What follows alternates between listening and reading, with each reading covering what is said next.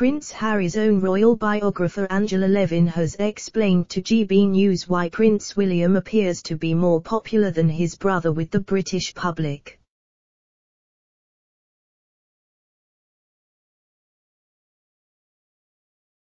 Royal expert Angela Levin told GB News that people are turning away from Prince Harry and Meghan Markle.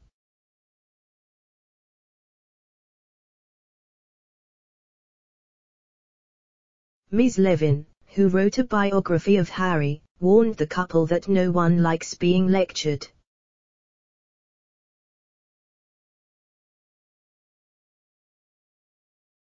She said that Prince William and Kate Middleton were more relatable to the British public.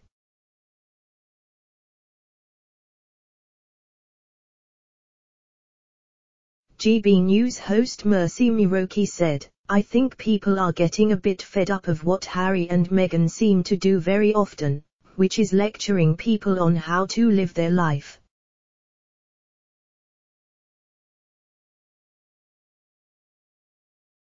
They want to be social influencers, whether that is on race, women's rights or the environment.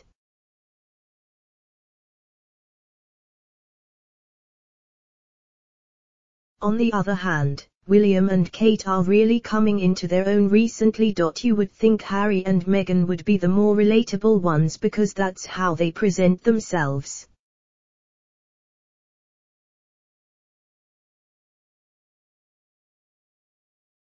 She added, but I've found over the last couple of years, it is William and Kate who are the two you would most feel more comfortable chatting to out on the street.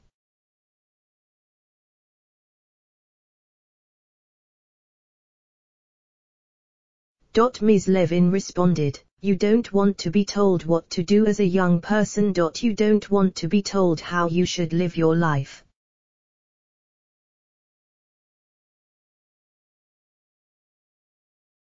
I think a lot of young people will think don't tell me what to do. Whereas William and Kate are very warm about it.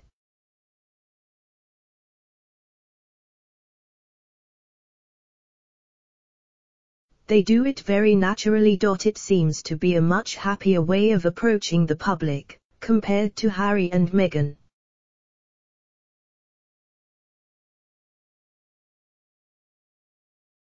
Earlier today it was reported that Harry and Meghan plan to have their newest child Lilibet christened at Windsor in front of the Queen.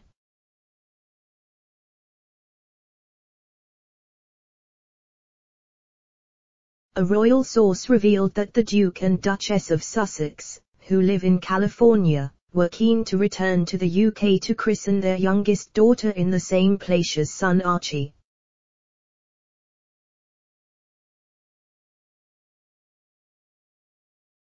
If this goes ahead, it would be the first time Meghan has returned to the UK since 2019.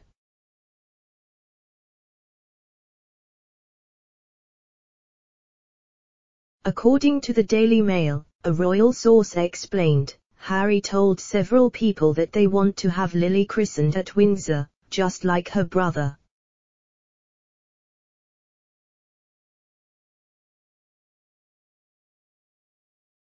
They are happy to wait until circumstances allow Harry and Meghan announced their daughter's birth last month, saying that she was named after the Queen.